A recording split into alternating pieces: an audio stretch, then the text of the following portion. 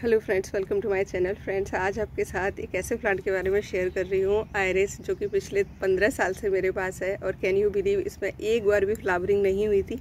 हालाँकि मुझे पता था इसमें फूल आते हैं, लेकिन मेरे यहाँ कभी भी नहीं आए थे। फ़र्स्ट टाइम इसमें फ्लावरिंग हुई है और आप देखिए कितना खूबसूरत फूल खिला है।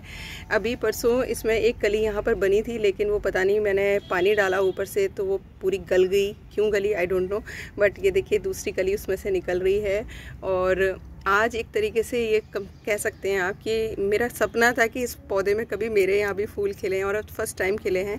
रीज़न मैं कह सकती हूँ क्योंकि जयपुर में जहाँ पर ये मेरा पौधा रखा रहता था, वहाँ पर एवरी टाइम शेड रहती थी, कुछ घंटे की बस धूप आती थी। लेकिन यहाँ पर ये फुल सनलाइट में रखा हुआ है और पाँच से छः घंटे की इस पर धूप पड़ती है। इसी वजह से शायद ये फ्लावरिंग के लिए तैयार हो पाया है और आप देखिए कितना खूबसूरत इसमें फूल खिला है। आयरिस एक देवी हैं जो कि मतलब इसका लॉन्ग वो है, थोड़ा सा कहते हैं इतिहास है। आप पढ़ेंगे, गूगल करके तो काफ़ी आपको नॉलेजेबल फैक्ट पता चलेंगे इसके बारे में, लेकिन मुझे ये पता है, ये खूबसूरत सा पौधा मेरे पास है जिसमें फ्लावरिंग हुई है। और अगर आपको कहीं मिलता है तो इसको लगाइए। ये इस तरीके से इसके बल्ब होते हैं। और अगर इस बल्ब का मैं अगर मेरे पास काफ़ी अच्छी मात्रा में ये डेवलप हो जाता है, लेकिन कुछ मिस्टेक्स जो मैं करती आई हूँ कि मैं इसके जो राइजम्स निकल रहे हैं, इनको मिट्टी में दबा देती हूँ, तब ये रॉट हो जाते हैं, गल जाते हैं और ख़राब हो जाते हैं। अभी आप देख पा रहे होंगे जितने भी हैं, सारे एक्सपोज हो रखे हैं, मिट्टी से ऊपर आ रखे हैं और प्रॉपर इसको सनलाइट मिली है, इसी वजह से शायद इसमें पहली बार पंद्रह साल तो मैं बोल रही हूँ, पंद्रह हो सकता है, पंद्रह साल से ज़्यादा टाइम हो जब से ये पौधा मेरे पास है, लेकिन फ़र्स्ट टाइम फ्लावरिंग हुई है। ये मेरे लिए बहुत ही खुशी की बात है। और सबसे अच्छी चीज़, शायद इसको एक पॉजिटिव एनवायरनमेंट मिला जो मैं सारा कर रही हूँ।